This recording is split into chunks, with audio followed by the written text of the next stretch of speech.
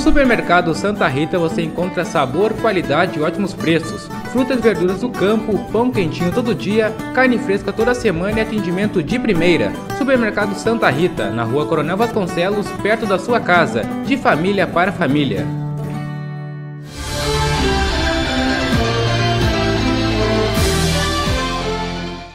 A Brigada Militar e a Polícia Civil de Tapes intensificaram o combate à criminalidade que anda assustando a população tapense. A Brigada Militar, através de abordagens constantes, e a Polícia Civil, por meio de um intenso trabalho de investigação, vem realizando diversas operações para localizar e prender esses criminosos. Durante a Operação Resposta, realizada há três semanas no município, quatro indivíduos que estavam cometendo diversos crimes foram presos, e a mais recente foi a localização de uma motocicleta roubada na rua 13 de maio na quinta-feira, encontrada intacta apenas sem as placas na estrada da Camélia, na localidade do Butiá, interior de Tapes.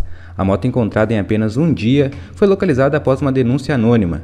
Um homem foi preso em flagrante. A contribuição e ajuda para combater a criminalidade é de extrema importância. Se você tem alguma informação importante, faça sua denúncia anônima para a Brigada Militar pelo fone 3672 1366 ou no plantão 24 horas pelo fone 99872 9795. Ou se preferir, entre em contato com a Polícia Civil através do fone 3672 1100 de segunda a sexta-feira das 8h30 da manhã às 18 horas.